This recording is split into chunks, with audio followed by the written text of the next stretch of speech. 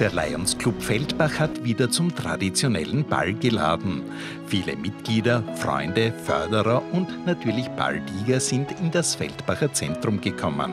Präsident Alois Gölles begrüßt persönlich mit seiner Gattin die Ballgäste und dann geht es in den festlich geschmückten Saal, dekoriert vom Designer-Duo Andreas Stern und Rainer Böhm.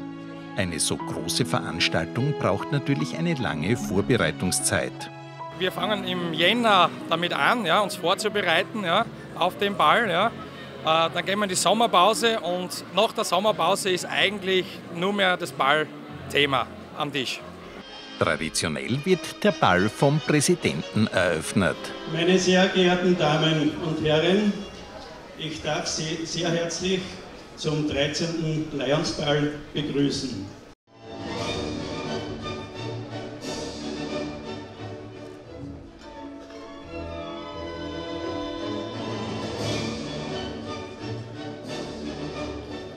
Die zahlreichen Besucher tanzen hier sozusagen für den guten Zweck. Bisher hat der Lions Club Feldbach schon sehr viele Projekte unterstützt. So wurden im Vorjahr 47.000 Euro dafür aufgewendet. Der Großteil der Projekte fließt in die Region, in, in die Südoststeiermark.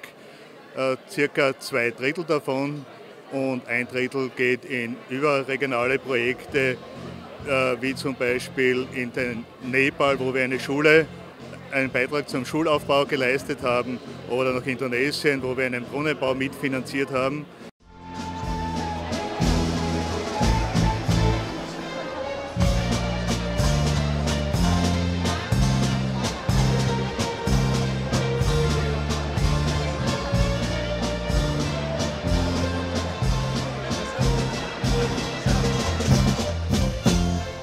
Gäste amüsieren sich prächtig und auch der Präsident des Lions Clubs ist zufrieden, weiß er doch, dass wieder viele bedürftige Menschen von den Einnahmen des Balls profitieren werden.